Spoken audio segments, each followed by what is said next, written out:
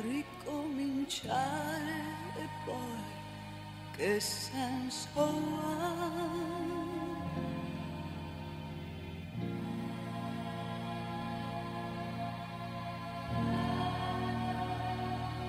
fare l'amore e poi